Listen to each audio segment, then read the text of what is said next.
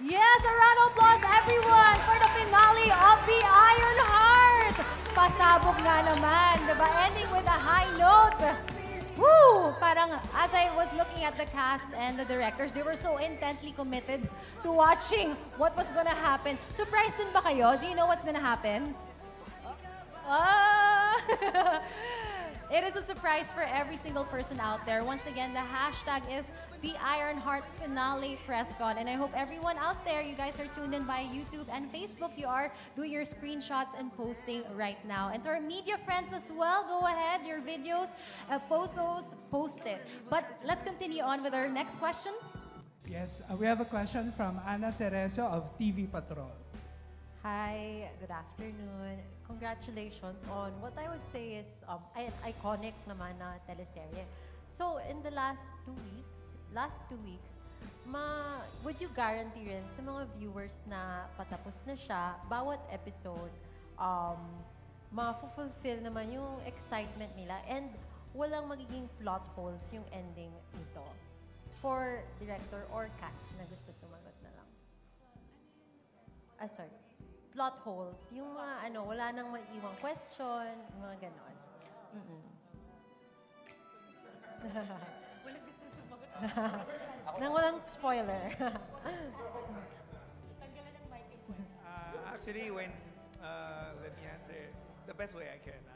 Nung ginagawa namin every week yung Ironheart, uh, me and Direk Ace, Direk Ian, we would conceptualize different kind of plots and different ki- how we would mount it. Of course, the brilliance of our creative uh, Yes. team, sila Jay, uh, Jay Fernando, Henry Kitain, sila Reese, they're they, they're brilliant creative people that provided us with a very solid script. And then of course for us, it's a big challenge how to interpret it, especially with the constraint of uh, budget, constraint of time, uh, di ba? So, but of course, um, uh, what, what I'm thankful about our team is walang sumusuko. Laging palaban. So, despite all the limitations, laging palaban. We would promise ourselves that we would beat yung tatalunin namin yung ginawa namin nung nakaraan. Which is of course, parang sariling trap yung siniset namin sa sarili namin kasi pahirap ng pahirap. Umabot kami sa isang point na paano natin hihigitan yung ginawa natin nung nakaraang linggo. yes. Pero one good thing, we have a really good support team. Ah, ang ideas din ni Direk A sa action at saka ni ah, Direk Ian sa drama hindi nauubos. So we would collaborate. And sa tingin ko, I'm confident to say na yung darating na dalawang linggo, mas maganda pa sa mga nagawa namin ng nakaraan. So doon kami very proud. Kaya kaabang-abang.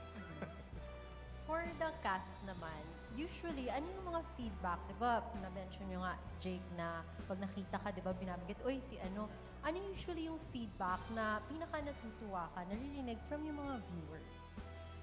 Um, I think um, for me, ako ah, personally, like what, what makes me like really like kilig when I Yeah. see a comment or when I see when when people go up to me and say it's so good. Like for me, when they say it's Hollywood, when they say it's international level, when they say it's something they've never seen before, then for me, I was like, wow, that's really the, that's our goal, that's our objective. So for me, parang every time I do go outside, and, or even in ABS yesterday when we were rehearsing, when we were rehearsing in the studios of ASAP, literally see all the guys going to the studio trying to watch the fight scene because they want to see what's gonna happen. So, ganun yung feeling. Tsaka nakakatuwa kasi, syempre, you know, ABS-CBN is a female-centric viewers, di ba? But nakakatuwa when guys go up to you, when jeepney drivers, tricycle drivers, or even normal people really call you idol. Nakakatuwa. Kasi, syempre, the- these are, these, this is the represent, we're representing them.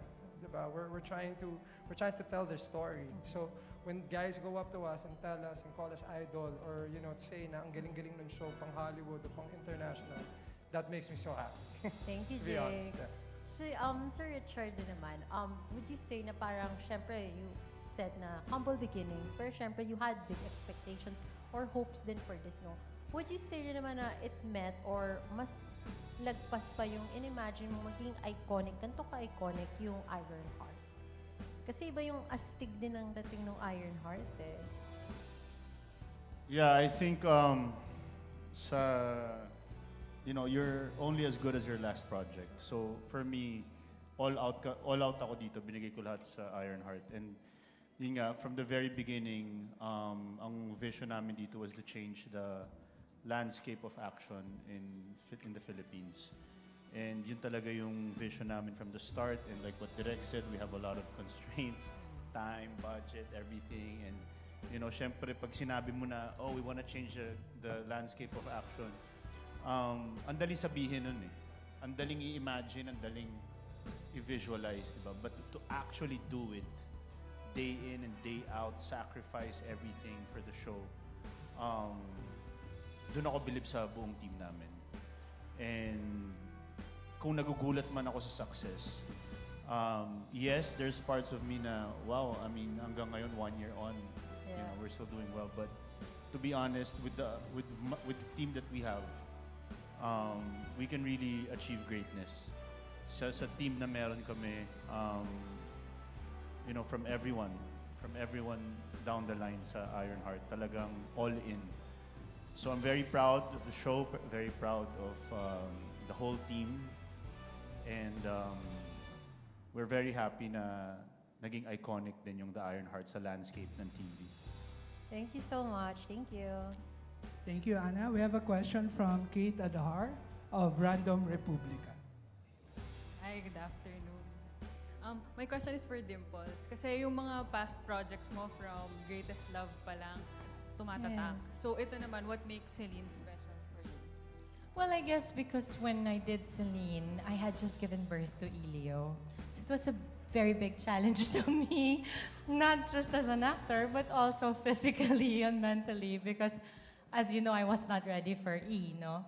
But I, it's weird. Every time Star Creatives and Sina Derek Lester would call me for a project, it is always something that is sort of like a cleansing of who I am, no? Direct, always yan. Parang when I did Babaylan, it was with Star Creatives and it was also iconic on its own. And in the same way that, I guess, not just for Iron Heart, kasi being a part of Iron Heart means, you know, the world to me, only because everybody in this show, we know our place. I think it's very important that we understand that. Now, okay, Celine is Celine, Orcus is Orcus, um, Apollo is Apollo, Eros is Eros, and, and so on and so forth. And, and our directors and all our creatives, you know, Sir Jay, Sir Henry, have really done an amazing job of making sure that they listen to their actors as well. Kasi we're very collaborative. All the actors here are very collaborative. And we don't have big voices, small voices, all voices are heard here. So on set, may ano yan, may pag-uusap yan direct, di ba? Na parang, okay, ganito yung gagawin. Kaya siguro, nagta-thrive din yung mga characteristics namin. Like si Kuya Orcos is, ganun siya talaga in real life eh. Joke. hindi, hindi, hindi. Joke lang, joke lang. Hindi, pero ibig sabihin, Joke lang. Uh, what I mean, Ate Kate, is that I'm sure you know na parang with Celine, I wanted to empower the woman, the mother, the the one who will be watching us from every evening. Kasi maraming kababaihan ang nanonood, hindi lang dahil sa mga kalalakihan sa show na to, kundi dahil sa mga kababaihan din. So I stand beside, of course, Sue Ramirez, Sofia Andres, Meryl, Ray, uh, Lou, Kai, Riza, um, sina Miss uh, Maricel Laksa, and so many others who have come along, no, and, and told the story of women throughout um, an industry or somewhat a plot that usually men dominated. So ang sarap lang to be representative of that. Kasi, bili mo nag-action ako, Ate Kate. Nakita mo ba ako nag-action before? Feel na feel ko talaga. Kaya pag tinuturuan ako nila direct, di ba na direct? Pag binablocking ako ni direct, nakikinig ako sa kanya, pero wala akong naiintindihan. Pero meron naman, andun, andun naman yung, nag, meron naman po kami interpreter, di ba no, direct? Yeah, important I listen. No, okay not understand, but I listen. The eye to eye, okay, like that, okay. Okay! So, pag nagpa-blocking si Direk sa akin, okay, Celine, tu tu tu tu, Pepe love, Pepe girl, okay, pa pa pa pa pa pa. Sis, ganun na ako. Okay. Pagkaalis niya, ano daw yun? At, at kasi usually ang nag-AD sa amin, si Dylan eh. Si Lance kasi dito, 45 different roles siya dito sa show na to. Minsan, stunt director siya, lahat, artista. But you know, here, going back, I felt like, you know, Celine really was able to somehow parang embody the woman that was also parang supportive and uh, empowered by women as well. Kasi again, I'm protected by Sinalu. ba? So puro mga babaeng mga pinagkakatiwalaan niya. Kita mo wala siyang tiwala kay Orcus. 'Di ba? Kasi nga gusto niya, girls, sabi na, Kuya. But you know, yun lang masayang masaya ako kasi Siyempre, yung mga pinanggalingan ko, Greatest Love, Bagani, Kadenang Ginto, Huwag Kang Mangamba, Viral Scandal, and then when Celine came about with the Iron Heart, I thought it was so perfect because as you know, quoting uh, Mr. Gutierrez here, you are only as good as your last. And I feel like, you know, my Star Creatives family has given me another gift with Celine. So I'm very, very grateful. Thank you. And for my last question, for Derek, Richard, and Jake, um, kilala yung Ironheart for the action scenes. Can you give us a glimpse of how difficult and how long kayo gumagawa ng mga action scenes? Kasi mabilis na lang siya nakikita sa TV.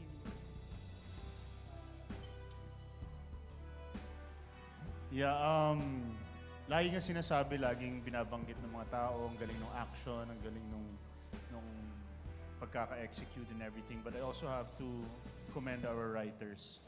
Dahil hindi lang naman yung action ang nag-hold ng show. Uh, it's the way that we are also creating the storylines, the plot twists, the characters. And the action is the the flavor, di ba? The, the vehicle of the story.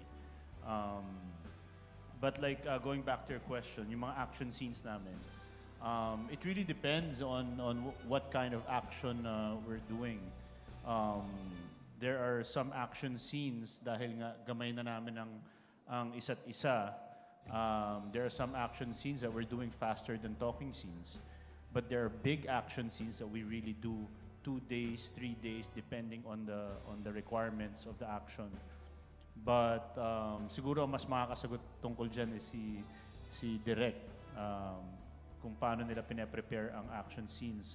Kami naman ni Jake, you know, we're ready for anything. Um, we give our best um, in every scene that we do. Da, sa lahat ng mga kaya namin, binibigay namin. Um, but yeah, it really depends on what kind of action that we're doing for that particular day. Yeah, Direk, you wanna add? So for the action scenes, normally uh, bibigyan kami ng idea, of course, getting from the script. Again, tama si Chard. Uh, nor- the success of the show is not just action because action without a good narrative is nothing. So maganda talaga ang kwento because of what our creative people have written about the story. Action is just our tool to tell that story. And one unique thing that we have for the action is there's a narrative within the action. So there's a story within the story. So we try our best not to showcase people just killing each other without pushing the story or walang story ang nagaganap. So we always want to tell a story within the action. So how would we design it? Uh, pagbasa namin ng script, I would uh, visualize it. And then, of course, tell the story kay Direk Ace. And then I, we would, I would tell him how I visualize it and we would plan for it. Uh, and then, normally we would have uh, one good thing about uh, Ironheart team. Yung iniisip natin na kung sa ibang production, it would have taken more time and more money for them to do what we did. Uh, for us, because maybe of the uh, collaborative uh, environment and the expertise, uh, I'm working with masters of their art. So we were able to create something very beautiful in a very short period of time. One whole day would, like for example, yung river scene, we shot it for one and a half day. So, it's, wh- when you look at it, hin- hindi nila maisip paano namin ginawa. So, we've been working for almost 20 years together. So, yung gamay na gamay din namin yung isa't isa. Saka hindi kami nahihiyang utusan ng isa't isa. O ikaw na kumuha niyan, o ikaw na kumuha ng ganito. And then, uh, one big factor na hindi na lalagay lagi sa usapan is the risk the actors is taking every time we would shoot action scenes. Other than the physical na pagod, they're putting their lives at stake in most of the cases. Kasi delikado yung ginagawa. Araw-araw na ginagawa yan. It's something very, very dangerous. So, because we have very good action team, our action choreographers, action coordinators, stuntmen that supports us, is they're master of their art. Kaya din, nagiging uh, safe at less yung risk na tinitake ng bawat isa. But I salute all the actors for really taking the risk with us and trusting us for uh, parang pinagkakatiwala nila yung buhay nila sa amin. Tuwing gagawin namin yung mga bagay-bagay. Thank you, Direk. Thank you, Kate. Our next question will come from Jerry Olea of pep.ph. para kay Altea. Si Altea na napakagaling sa Dollhouse at ang Daddy Baron mo naging part din itong ah, The Iron Heart. Ah, kumusta yung experience mo dito? Ano yung magagandang memories sa mga nakatrabaho mo rito? Well, masaya po kasi lahat po kami dito para po kaming pamilya. Kung dito po sa mga action scenes po, laban-laban kami. Pagkat po ng pagkatawanan po kami. Well, hindi naman po kasali doon, pero mga naririnig ko lang po sa mga kwento nila. And yun nga po sa Adelantar family, kaya la Kuya Luis, kaya Iggy, kaya um, Kuya Cronus, kaya Churoy. Masaya po kami. Para po talaga kaming pamilya. Naghahanapan po kami talaga sa airport. Yun po. P- pwede na rin sigurong sumagot si Riza, yung iba pang mga artista, yung magagandang memories ninyo sa paggawa dito sa mga nakatrabaho ninyo. Ah, yes po. Sila rin, sumagot na rin. Um, ako po, um, masaya ako na naging part po ng Ironheart kasi karamihan po ng cast, first time ko rin po nakatrabaho and also the directors and Star Creatives po, first time ko rin makasama po, sa, makatrabaho din po sila. And sobrang ganda po ng experience ko and marami rin po natutunan sa mga cast. Um, first time ko rin mag-lock-in sa Iloilo na napalayo po ako sa anak ko. So, yun, medyo challenging yun para sa akin. Pero, na, natapos ko naman at nagkaroon ako ng bagong friends. Go ahead, Lou.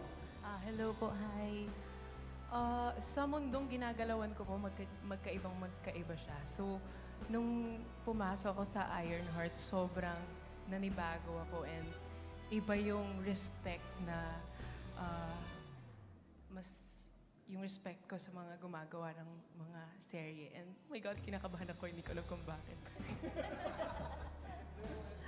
Go, Lou. Go, Lou. You can do this.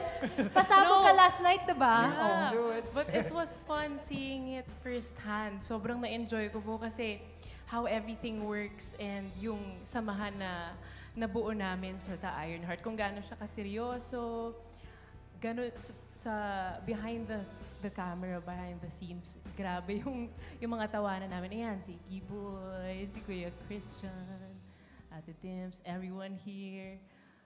Wala lang. I'm just so grateful because uh, nabigyan po ako ng opportunity to enjoy this and to experience this. And I'm just so thankful for um, yeah. Yes. Happy It's our episode tonight, right? Yeah, yeah, watch out. Ayan. Oh, by the way, before anything else, let's commend Althea. She's actually on a very good girl. Yeah, she's she's there. You can watch her kung hindi niyo pa napapanood. Ang cute-cute niya po doon. Meron po siyang magical entrance dun sa movie. So stay till the very end. Ayan, Althea. Good job.